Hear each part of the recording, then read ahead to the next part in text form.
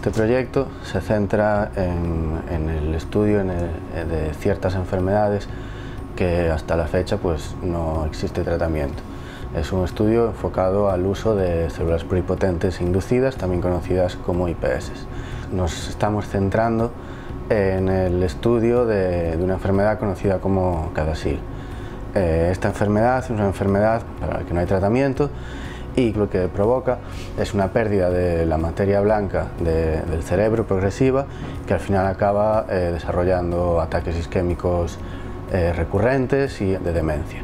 Este estudio consiste en el desarrollo de un modelo celular in vitro del CADASIL mediante la utilización de, células madre pluripotentes inducidas. Nuestra idea es eh, conseguir células adultas del paciente y reprogramarlas a, este estado de célula pluripotente inducida.